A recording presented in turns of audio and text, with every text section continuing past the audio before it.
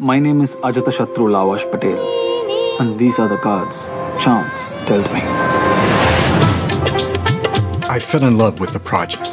It's a story of a young Indian who comes from a very, very small area of Mumbai. He knows nothing else but his neighborhood.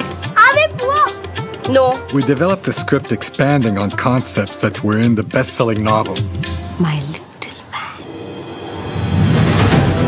Working with Dhanush and all the other actors from so many different cultures was truly inspiring. First time in Paris? Yes. We shot in many different countries. It was very important for us to take advantage of these different settings. India, Italy, France, England, Libya.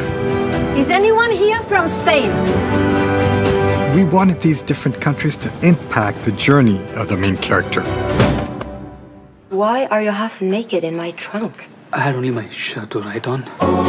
Very simply, what I tried to do is get the best out of each actor to obtain the right balance of drama and comedy. Make a wish.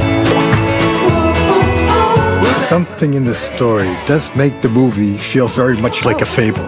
But most importantly, we want the fakir to be very entertaining, a true adventure. Illegal immigrants? You're not I'm a tourist. a tourist traveling in a one room.